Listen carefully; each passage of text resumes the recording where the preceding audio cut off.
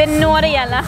Det er bare noen timer til valglokalene stenger, og det er du som bestemmer hvilken retning Norge skal ta. Vil du at vi skal bruke de store pengene på å løse de store oppgavene innenfor skole, helse, velferd? Eller mener du at man skal bruke de på store kutt i skattene til de som har mest ifra før?